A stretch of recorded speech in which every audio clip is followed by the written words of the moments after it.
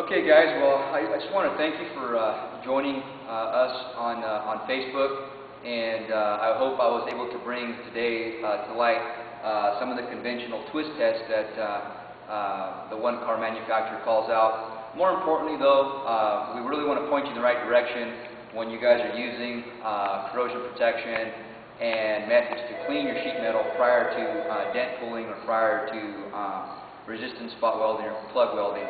Uh, for more information, you can join us uh, at Critical Welding Path uh, at Equip Automotive Systems.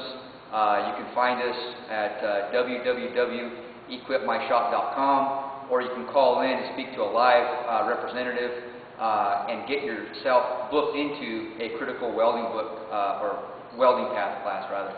I hope you guys enjoyed the segment today. We're going to be bringing some more things to light to kind of set the record straight on automotive uh, welding. Thanks again.